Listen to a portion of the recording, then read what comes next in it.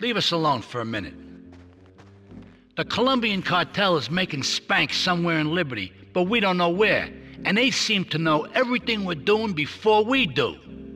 We got us a rat. There's a guy named Curly Bob, works the bar at Luigi's.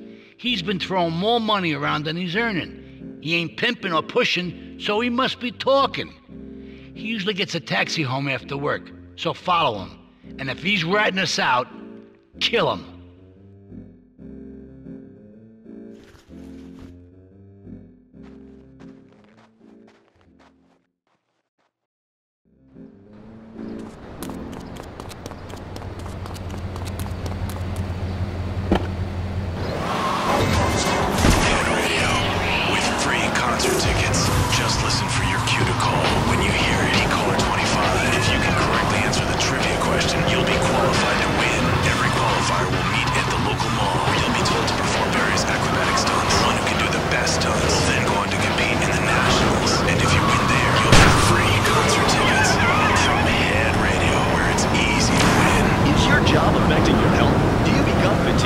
Does working take time away from family and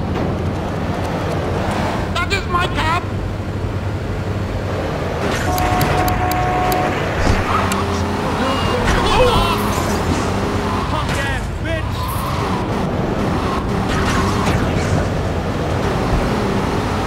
You been downtown?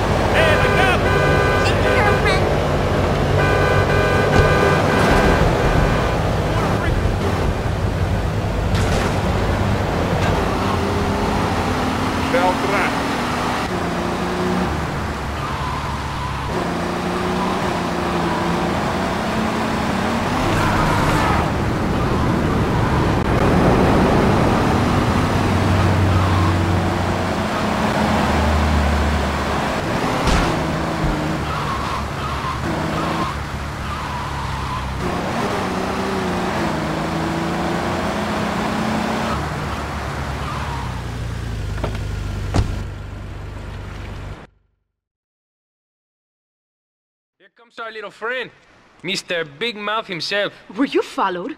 You know what goes on here is our little secret, amigo. No, no, I, I wasn't followed. You got my stuff? Here's your spank, squealer. Now talk. Okay, so the Leones are fighting wars on two fronts. They're in a turf war with the Triads, with no sign of either side giving up. Meanwhile, Joey Leone has stirred up some bad blood with the Forellis. Every day they're losing men and influence in the city. Salvatore's becoming dangerous and paranoid. He expects everybody and everything. And with loyalty like yours, what has he possibly got to worry about?